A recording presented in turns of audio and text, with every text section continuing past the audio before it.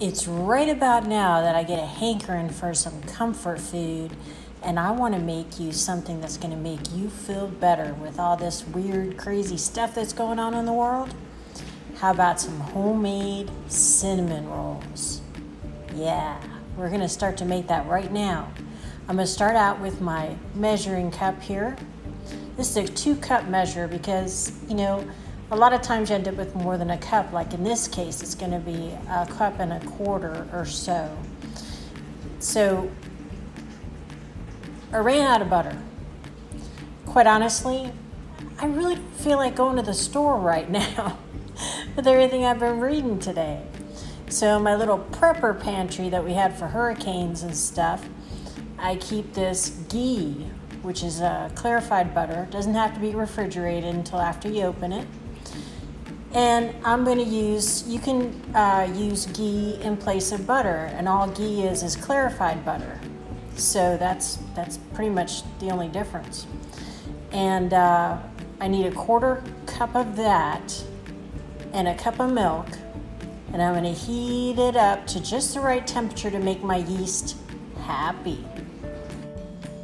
So that's just kind of lukewarm now. I let it sit for a few minutes and I put in a quarter cup of granulated cane sugar, organic, and a packet of organic instant yeast. And by putting the sugar in this mixture instead of with the flour, it's gonna make the yeast very happy. Look how it's already bubbling up. It's so happy. That might be the happiest looking yeast I've ever seen. So that's why the yeast loves me. They go, let's go over to Elizabeth Doherty's house because we get to eat sugar. Right on. So I've got my little uh, wet mixture in here, and I've got three and a half cups of flour that I whisked. So you don't have to sift it. If you whisk it up, it gets enough air in there, you don't have to sift it. With a couple of pinches of sea salt, okay? And then we're gonna slowly add that into our mixer. So we're gonna let that mix up. It's gonna fight with the dough a little bit till it forms a ball. So our dough rose a little bit. And now I'm gonna give you the lowdown on the backside, which is we're gonna melt some butter, we're gonna put some sugar in there, and a whole bunch of cinnamon, and we're gonna roll out the dough. So you remember what I said about feeding the chickens? You gotta put it on your board, little sprinkle of flour, and then turn out your dough, put a tiny bit of flour on top, so when you roll it out, it does not stick. Okay, then we're gonna talk about the cinnamon fillings. I'm just not in the mood to measure stuff. Okay, so I took a quarter cup of that ghee, and yeah, when you take it out of the fridge, it's kind of hard, but I'm not keeping ghee out of the fridge. I don't care if other people do that. This is Florida, it gets hot. I'm keeping the ghee in the fridge. So I melted it in the microwave, quarter cup.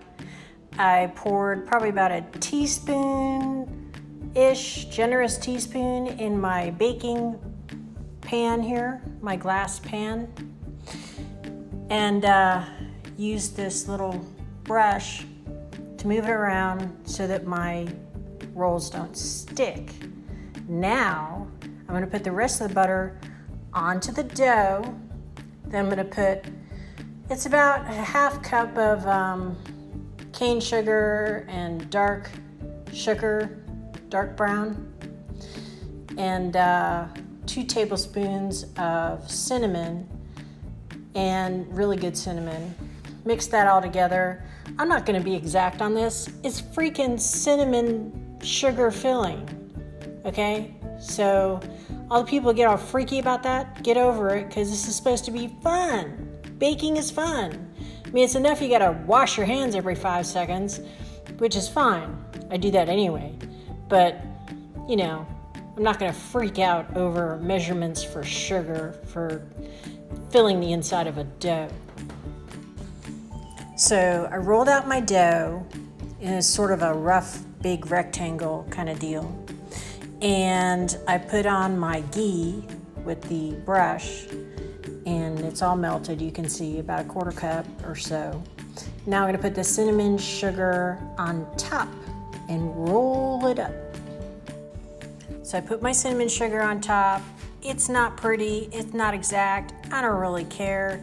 And please don't send me letters from like my baking teacher saying, hey, you know what? You should really measure that stuff out. You know what? That is just total BS. And now I'm gonna get letters saying, Mommy, why did she say BS in her video? I'm sorry, okay? I'm really, really sorry. Now we're gonna roll it up. So there it is, rolled up.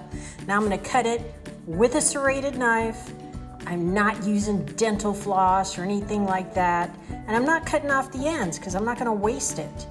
You know, they're not going to be perfect, but they're going to be homemade. See what I did? I cut it in half and then I made two equal cuts, equal distance from each other, so that I can kind of portion it out.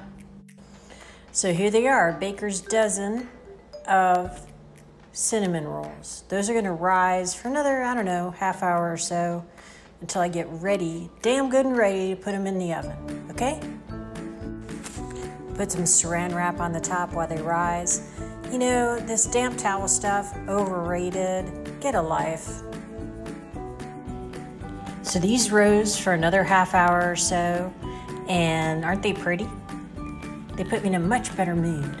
So I'm going to pop these in the oven at 350 degrees for about 15 20 minutes till they're nice and golden brownish around the edges.